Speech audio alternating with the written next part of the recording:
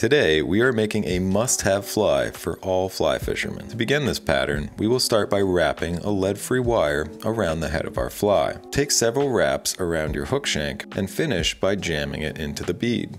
We will then select some black thread, secure this tightly to our hook shank, snapping the excess free. Use your thread to secure the excess wire and also secure all the wire wraps in place.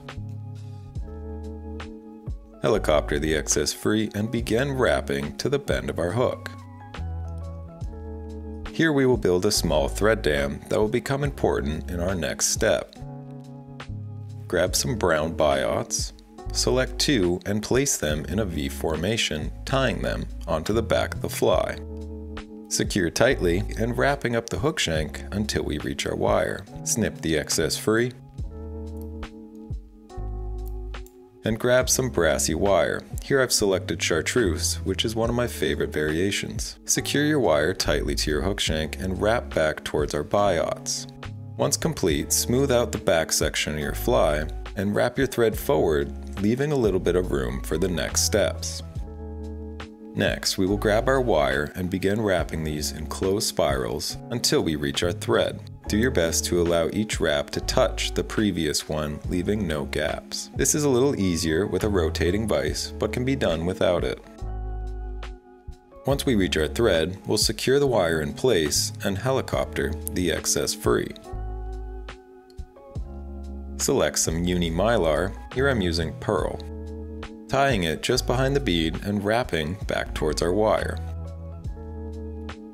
We will then select some thin skin, here I'm using clear. Tie this around the head of our fly, once again wrapping back towards the wire. Our next step will be grabbing some peacock herl, selecting about 2 to 3 fibers and securing them to the head of the fly. Once complete, we can begin wrapping our peacock herl forward towards our thread.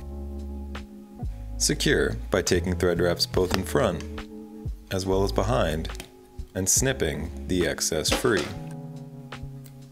Next, grab a partridge feather. I prefer to select a darker brown feather. Snip off a section so it forms a V. Tie it just behind the bead so it looks something like this. With this complete, fold over your thin skin and secure it just behind the bead. You will then grab the stem of our partridge feather, pulling it forward carefully to shorten our wings. I like to stop when my wings reach where my wire started. Once happy, snip the excess free, fold over your mylar, and secure it tightly in place. Snip both the mylar and the thin skin off closely, and whip finish to hold everything in place. An important part of this pattern is some UV resin. This one in particular is my favorite. You can find it in the links below. And add a drop of it just behind the bead covering our wing case. If you'd like to support the channel and pick up a few of these, you can find them listed in all my favorite variations in my fly shop listed below. And if you'd like to win this one, subscribe to the channel, hit the like button, and comment hashtag flies for your chance to win.